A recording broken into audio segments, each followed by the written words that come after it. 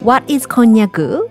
Konnyaku is a flavorless low-calorie food made of yams and has a chewy texture. Konnyaku are high in fiber and prevent dry skin.